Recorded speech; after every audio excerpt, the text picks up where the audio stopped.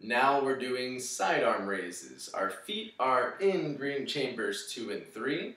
Now our arms are down by our side.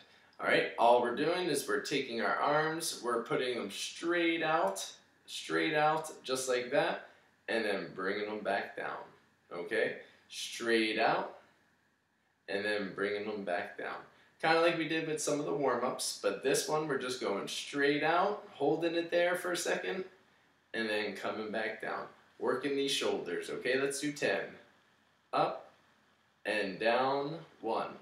Up and down, two.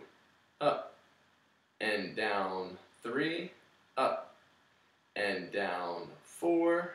Up and down, five. Up and down, six. Up and down, seven. Up and down, eight up and down, nine, up and down, 10.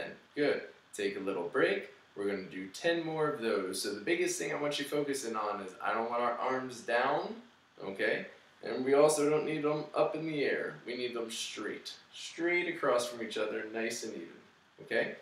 And let's start again. Begin.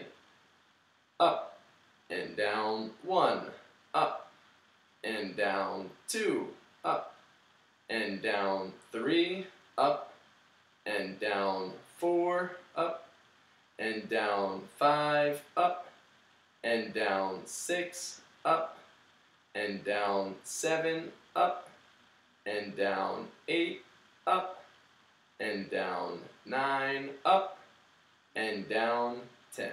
Good. And rest.